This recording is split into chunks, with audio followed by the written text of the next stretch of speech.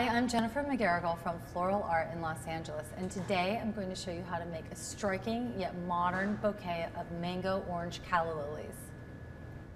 To make this bouquet, we're going to need about 30 stems of calla lilies, of course your scissors, a couple of pins, some tape, and of course some ribbon scissors and ribbon. And so what I'm going to start with is by taking all the calla lilies in my hand and the nice thing about calla lilies is that they're pretty easy to work with. The stems move easily in your hand and you can go ahead and you can gently pull the stems up so that they're just like this.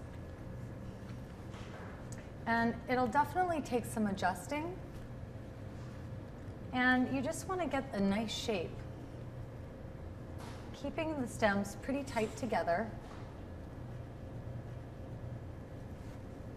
And when you're pulling the flowers up, do your best to pull them up with the stem instead of the flower.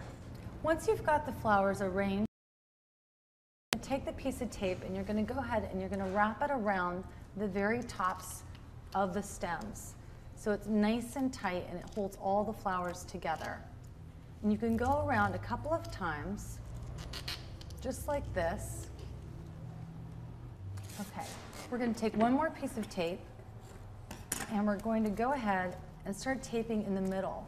And this is just to secure the stems a little bit more. And you can see the stems are nice and tight and the bouquet has a nice shape to it. To attach the ribbon, we're gonna place it just at the top of the tape at the bouquet, just like this. And we're gonna wrap it around. And as we wrap it, we're gonna be pulling tight, going in a downward sort of motion, just like this. And the key really again is to make it nice and tight. And also,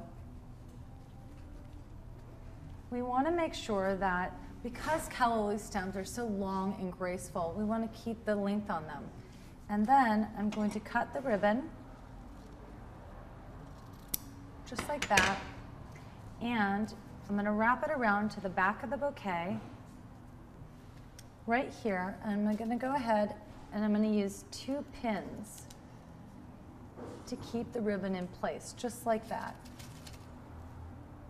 And if you want to create a pattern with the pearl head pins, you can go ahead and add a few of them going up the back of the uh, bouquet, just like this.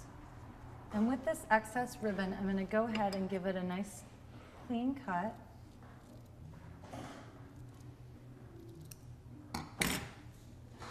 And then I have a calla lily bouquet. Now these are great for bridal bouquets or they could be a lovely gift. And if you'd like to know more about calla lily bouquets, go to floralartla.com.